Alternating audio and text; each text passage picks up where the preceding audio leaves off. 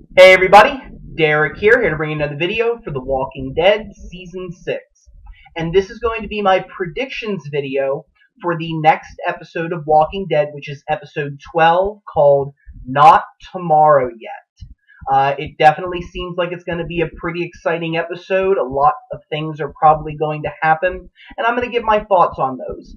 Just a warning, this video is going to contain some extra spoilers because there was an international promo that was released through Fox International, which has extra scenes that are not in the US trailer that they showed that really creates a lot of spoilers for how the episode is going to go, and I'm going to be incorporating them. So if you do not want to know what happens in this next episode, then I suggest you not watch this video because otherwise you will be spoiled.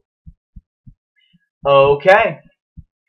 So when the last episode left off, uh, you know, the group had gone to the hilltop. They had talked with uh, Jesus and Gregory and found out about the situation from the hilltop. And Maggie was able to, you know, help to create a deal uh, with the hilltop and Gregory that Rick's group would tackle and kill the saviors uh, who have been, you know, bullying and killing many members of the hilltop community for a while in exchange for food. Um, because the hilltop is very rural. They're very much about farming. They have foods and crops that they can give to Rick's group in Alexandria. And they make that deal.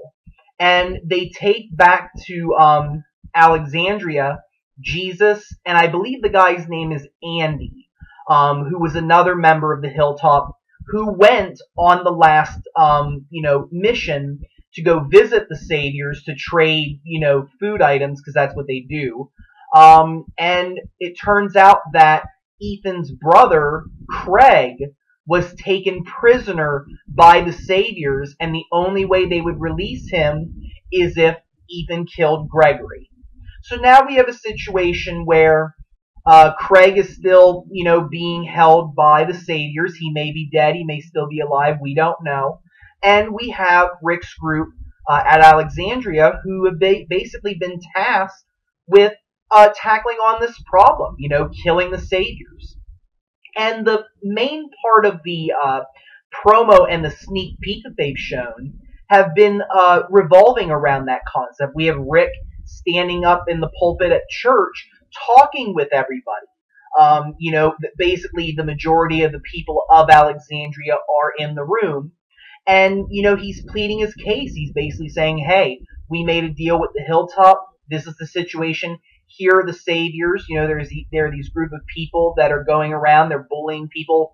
They've killed people from the hilltop. And it's pretty clear from, you know, the description from Jesus that, you know, they are ruthless. And we have heard before that the saviors usually kill people in order to, you know, reassert their dominance, to basically put people in their place and to scare them. And Rick's argument is, hey, these people are going to find us anyways, and, you know, they're going to hurt us when they come here, so why not take fight to them? They're obviously terrible people. They're obviously people that could hurt or kill us, and we need to take care of them so that way we can set up a relationship with the hilltop and we can keep ourselves fed. And at the end of the uh, the scene, he asks Rick asks anybody if they have any objections, and that's where it cuts off. Well, I think that the majority of the community is going to agree to this. Um, you know, I guess it's you know whether it's majority rules or whether it's you know if a certain group of people want to be involved but other people don't, that maybe they get to sit out. I don't know the whole uh, circumstance, but it's very clear from the promo that enough people are interested in this plan to go through with something because we see later on in the promo, um, in the U.S. promo that the group ends up going out outside the walls and they stop on the road where a field is at. Now, this might be where they're planning things. This might be um, maybe target practicing. Who knows? Because we see there's a dip, there's a lot of different people that are there in that scene.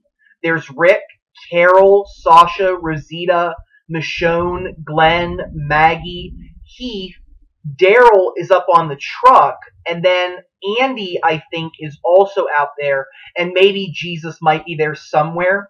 But we also see in one scene that Gabriel is actually out there, that Gabriel has actually taken up arms and has gone out with the group. Um, and he's also seen in the international promo. So we've seen that Gabriel does at least agree to this and is willing to go through with whatever Rick wants to do. I think it shows that he has committed to the group. But I think that it might be that they've stopped outside someplace because I think the whole point of the episode, I guess it's going to be to rescue Craig. Um, it's possible that maybe there was some kind of a, you know, message, hey, when you kill Gregory, come to this uh, spot, you know, and we will trade or we will do something or it might be some kind of an outpost. I don't think this is going to be, you know, a full-on assault of the entire uh, compound. Because, you know, Rick and the group need to know their enemy. I mean, yes, granted, they felt very confident about, you know, going to fight. Uh, in the last episode, Daryl said, hey, you want us to fight these guys? You better believe we'll do it. But they're not dumb. And I don't think they're just going to go running into something unless they've figured out some of the steps, as well as, you know, maybe there's another plan, uh, you know, that, that they're planning in the future. But I think that mostly what this episode is going to be dealing with is the group trying to rescue Craig. And I think they know where that's going to be. And I think they're going to arrive there because you see, you know, in the scenes, we see that, um, Rick and Daryl and Abraham and Sasha and a bunch of other people are going inside of this building. Um, and they're like looking around. They're, you know, acting very uh, covert, if you will. You know, they're trying not to, you know, make themselves known. They're really, you know, moving like some kind of armed force would, you know, some kind of military operation, army, navy, something like that. They're really moving as a unit. So it may be that they're trying to surprise somebody that is there. So I think they're trying to get the drop on some people and maybe try to see if they can capture somebody and figure a little bit more about the uh, saviors. You know, it's hard to say how much Jesus, Andy, and the rest of the people from the hilltop actually know um, about the saviors. We don't know, and I think they're as much in the dark as Rick's group is. But you know, we have Rick convinced that we need to go out there, we need to fight, and we need to win because these are bad people. They're going to find us, they're going to hurt us, and we have a deal with the hilltop, and it's a good deal, and it's something that we feel that we can do. Uh, other things that I think are going to go on in this episode, um, the big one is going to be Morgan. Um, you know, uh, I think that he's going to have a little bit of a part in the episode. What exactly the extent will be, I'm not sure. But when Rick asks if anybody um, objects, it was in one of the promos, either the international one or the U.S. one. I'd have to double check. But Morgan was sitting in the sneak peek, and in the next part, he's standing. And that makes me think that he's going to at least make some kind of a statement or some kind of a plea saying, guys, we should not be doing this. Why go out and kill? You know, why do this? Why take the trouble, you know, to their doorstep? Why not wait until they come here and then we can talk to them? Maybe we can figure something out. But if we do this, we're no better than they are. Or maybe he's going to make some kind of an argument crafted in that way. I don't think he's going to, you know, come out and say, well, hey, you know, all life's precious and we can't do this. You know, I think that even though Morgan believes that, it, it really is, you know, in a sense, politics. Anytime you deal with any kind of situation, it's partly about the way that you say something or the message that you are conveying. And sometimes you have to craft it in a way that you think might appeal to a bunch of people. And I think that what Morgan's going to be trying to do is try to appeal to people's, you know, humanity, but also for safety. You know, I think he's going to say, look, if we go and we do this, when they attack us, it's going to be worse. I don't think we should be doing this. But I don't know if he's necessarily going to come out and say, yo, all life is precious, we can't do this. Because I think it's pretty clear people are not necessarily gravitating towards that stance. So I think he's going to object, but whether he's going to have any other part in the episode, I'm not sure. Because I don't think I ever saw him outside of the walls in any of those other uh, scenes. So I think that his role is really going to remain in Alexandria Um, and I don't know if he's going to go around trying to convince other people not to do this or what, but I think that his role is that's really the limit of it um, at this point, from what I can see. Now, the international promo reveals a lot more stuff that's going on and might actually reveal a cliffhanger that might end up going into the next episode. Because in the international promo, we see Carol. One of the big scenes that's different is Carol is sitting in the dark outside, I think by a fire, and she has a notepad and she's writing something in it. And if you'll look carefully, you will actually see that these are the people that she has killed. Um, you know, I was I was kind of maybe thinking at first that maybe she was going on a scouting mission, and maybe that is the plan, and maybe she's you know killing time or something. But it's clear that she's off by herself. But in the um, in one of the scenes, she is with the group. So either at that point, Carol breaks off and goes somewhere else, or it happens beforehand and then Carol goes back to the group. So I think Carol's going to be doing something different in the episode, but you see her actually sitting there by the firelight and she's writing down little notes. And at the top it says E, and I think that's for Ed because in season one, Carol um, hit Ed's uh, you know dead body to prevent it from coming back as a walker. Then you see KD, and that stands for Karen and David. Then you see L, and that would be for Lizzie. You see Terminus, and she says three question mark. Then you see Candle Woman. That would be Mary. Um, uh, it would be Gareth's mother who she, you know, wounded in the knee and then opened the door and let the uh, walkers eat her. So a lot of people will consider that as, you know, she directly led to that death. And then she put wolves seven. So we see that she's writing down the list of people that she's killed. And then you see her looking down and, you know, putting her hand in, putting, putting her head in her hand and you know either I don't know if she's gonna cry or if she's just gonna be like wow like just so you know astounded at you know how much she's actually killed since this has started. But you know this might be a little bit of a sign for Carol you know this might be her you know really confronting this possibility of wow I've killed a lot of people. Can I continue to do this? Has some of what Morgan has been saying rubbed off on me has she found out about Sam? Well, obviously she's found out that Sam's died, but has she found that picture?